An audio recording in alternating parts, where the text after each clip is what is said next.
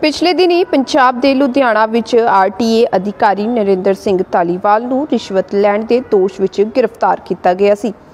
ਇਸ ਦੀ ਹਮਾਇਤ ਵਿੱਚ ਪੰਜਾਬ ਭਰ ਦੇ ਸਾਰੇ ਪੀਸੀਐਸ ਅਧਿਕਾਰੀਆਂ ਨੇ ਸਮੂਹ ਛੁੱਟੀ ਲੈ ਕੇ ਆਪਣੇ ਦਫ਼ਤਰ ਬੰਦ ਕਰਕੇ ਘਰਾਂ ਵਿੱਚ ਬੈਠ ਗਏ ਸਨ।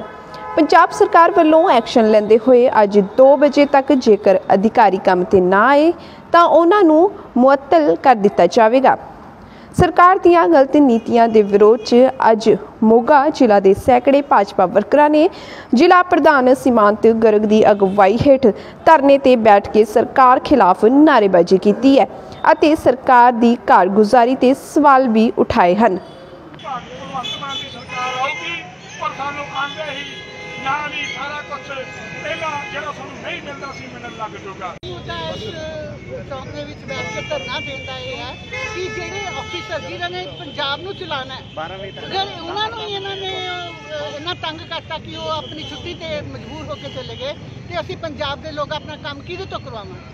ਪੰਜਾਬ ਜਿਹੜਾ ਹੈ ਐਗਜ਼ੀਕਿਊਟਿਵ ਆਫੀਸਰ ਜਿਨ੍ਹਾਂ ਦੇ ਨਾਲ ਚੱਲਦਾ ਹੈ ਕੱਲੀ ਗਵਰਨਮੈਂਟ ਨਹੀਂ ਚਲਾਉਂਦੀ। ਗਵਰਨਮੈਂਟ ਤਾਂ ਉਹ- ਉਹਨਾਂ ਨੂੰ ਆਰਡਰ ਕਰ ਸਕਦੀ ਹੈ ਪਰ ਆਰਡਰ ਹੀ ਜਦੋਂ ਗਲਤ ਆਣਗੇ ਤਾਂ ਉਹ ਕਿੰਨੀ ਕੁ ਦੇਰ ਮੰਨਣਗੇ ਉਹਨਾਂ ਦੇ ਆਰਡਰ ਨੂੰ? ਇਸ ਕਰਕੇ ਉਹਨਾਂ ਨੇ ਤੰਗ ਆ ਕੇ ਜਦੋਂ ਛੁੱਟੀ ਤੇ ਜਾ ਗਏ ਸਾਡੇ ਸਾਰੇ ਕੰਮ ਰੁਕ ਗਏ ਸਾਨੂੰ ਮਜਬੂਰ ਹੋ ਕੇ ਧਰਨੇ ਤੇ ਬਹਿਣਾ ਪਿਆ ਅਸੀਂ ਸਾਰੇ ਬੀਜੇਪੀ ਵਰਕਰ ਅੱਜ ਧਰਨੇ ਤੇ ਬੈਠੇ ਹਾਂ ਕਿਉਂਕਿ ਕੋਈ ਵੀ ਆਫੀਸਰਸ ਆਪਣੀ ਡਿਊਟੀ ਤੇ ਨਹੀਂ ਆ ਰਹੇ।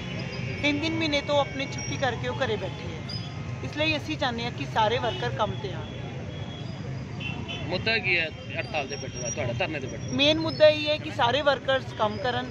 ਆਪ ਸਰਕਾਰ ਆਪਣੀ ਕਿਸੇ ਵੀ ਗੱਲ ਤੇ ਪੂਰੀ ਨਹੀਂ ਉਤਰੀ। ਉਹਨਾਂ ਨੇ ਇਹ ਵੀ ਕਿਹਾ ਸੀ ਕਿ ਅਸੀਂ ਲੇਡੀਜ਼ ਦੇ ਖਾਤੇ ਵਿੱਚ ਪੈਸੇ ਪਾਵਾਂਗੇ। ਹੋਰ ਵੀ ਬਹੁਤ ਕੰਮ ਪਰ ਉਹਨਾਂ ਨੇ ਕੋਈ ਵੀ ਕੰਮ ਪੂਰਾ ਨਹੀਂ ਕੀਤਾ। ਕੋਈ ਵੀ ਵਾਅਦਾ ਉਹਨਾਂ ਨੇ ਪੂਰਾ ਨਹੀਂ ਕੀਤਾ ਜਿਹੜੀ ਐਡਮਿਨਿਸਟ੍ਰੇਸ਼ਨ ਨਾਲ ਤਾਲਮੇਲ ਕਰਕੇ ਇਹਨਾਂ ਨੂੰ ਸਰਕਾਰ ਚਲਾਉਣੀ ਚਾਹੀਦੀ ਹੈ ਉਹ ਐਡਮਿਨਿਸਟ੍ਰੇਸ਼ਨ ਨਾਲ ਤਾਲਮੇਲ ਦਾ ਤੁਸੀਂ ਰਿਜ਼ਲਟ ਦੇਖ ਲਓ। ਐਡਮਿਨਿਸਟ੍ਰੇਸ਼ਨ ਪੀਸੀਐਸ ਆਫੀਸਰ ਸੀ ਛੁੱਟੀਆਂ ਤੇ ਚਲੇ ਗਏ ਕਹਿੰਦੇ ਸਾਡੇ ਤੋਂ ਕੰਮ ਨਹੀਂ ਹੋ ਸਕਦਾ। ਕਦੀ ਕਿਸੇ ਅਫਸਰ ਨੂੰ ਚੁੱਕ ਲੈਂਦੇ ਆ, ਕਦੀ ਕਿਸੇ ਅਫਸਰ ਨੂੰ ਚੁੱਕ ਲੈਂਦੇ ਆ। ਕਰਪਟ ਅਫਸਰਸ ਨੂੰ ਜ਼ਰੂਰ ਪਕੜਨਾ ਚਾਹੀਦਾ ਹੈ ਪਰ ਇੱਕ ਪ੍ਰੋਟੋਕਾਲ ਫੋਲੋ ਹੋਣਾ ਚਾਹੀਦਾ ਹੈ। ਇੱਕ ਕਾਨੂੰਨ ਦੇ ਦਾਇਰੇ 'ਚ ਰਹਿ ਕੇ ਕੰਮ ਕਰਨਾ ਚਾਹੀਦਾ ਹੈ। ਆਈ ਨਹੀਂ ਹੋਣਾ ਚਾਹੀਦਾ ਵੀ ਪੀਸੀਐਸ ਆਫੀਸਰਸ ਹੀ ਸਾਰੇ ਸਰਕਾਰ ਦੇ ਅਗੇਂਸਟ ਹੋ ਗਏ। ਤੁਸੀਂ ਇਹ ਸਮਝ ਸਕਦੇ ਹੋ। ਲੋਕ, ਸਰਕਾਰ ਤੇ ਐਡਮਿਨਿਸਟ੍ਰੇਸ਼ਨ ਅਤੇ ਤਿੰਨਾਂ ਦਾ ਉਹ ਤਾਲਮੇਲ ਹੁੰਦਾ ਹੈ, ਜਦੋਂ ਇਹ ਤਾਲਮੇਲ ਹੀ ਟੁੱਟ ਜੇ ਤੁਸੀਂ ਸਮਝ ਸਕਦੇ ਹੋ ਵੀ ਇਹ ਸਰਕਾਰ ਕੀ ਕੁਝ ਅੰਦਰੋਂ ਖਾਤੇ ਕਰੀ ਜਾਂਦੀ ਹੋਊਗੀ, ਗਲਤ ਕੰਮ, ਜਿਹਦੇ ਕਰਕੇ ਪੜ੍ਹੇ ਲਿਖੇ ਕੁਆਲੀਫਾਈਡ ਐਗਜ਼ਾਮ ਕਲੀਅਰ ਕਰਕੇ ਪੀਸੀਐਸ ਆਈਜੀ ਆਈਐਸ ਆਫੀਸਰਸ ਲੱਗੇ ਹੋਏ ਸਾਡੇ ਪੰਜਾਬ ਦੇ।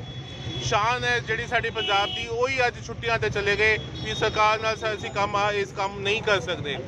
ਜਿਹੜੇ ਕਿ ਆ ਦਿੱਲੀ ਤੋਂ ਕੇਜਰੀਵਾਲ ਜੀ ਦੇ ਡੰਡੇ ਨਾਲ ਸਰਕਾਰ ਚਲਾਉਣਾ ਚਾਹੁੰਦੇ ਹੈ ਉੱਥੇ ਬੈਠੇ ਜਿਹੜੇ ਇਹਨਾਂ ਦੇ ਨੁਮਾਇੰਦੇ ਹੈਗੇ ਆ, ਉਹ ਸਾਡੇ ਪੀਸੀਐਸ ਆਫੀਸਰਸ ਨੂੰ ਆਈਐਸ ਆਫੀਸਰਸ ਨੂੰ ਪ੍ਰੈਸ ਕਰਕੇ ਆਪਣੇ ਹਿਸਾਬ ਨਾਲ ਕੰਮ ਕਰਾਉਣਾ ਚਾਹੁੰਦੇ ਹੈ ਆਏ ਸਾਡਾ ਪੰਜਾਬ ਨਹੀਂ ਚੱਲੂਗਾ।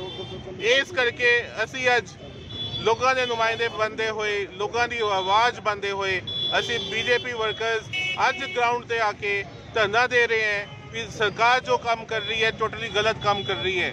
ਸਰਕਾਰ ਨੂੰ ਆ ਚੀਜ਼ ਸਮਝਣੀ ਚਾਹੀਦੀ ਹੈ, ਨਹੀਂ ਸਮਝੂਗੀ ਤੇ ਅੱਗੇ ਆਉਣ ਵਾਲੇ ਸਰਕਾਰ ਨੂੰ ਬਹੁਤ ਨੁਕਸਾਨ ਝੇਲਣਾ ਪਊਗਾ।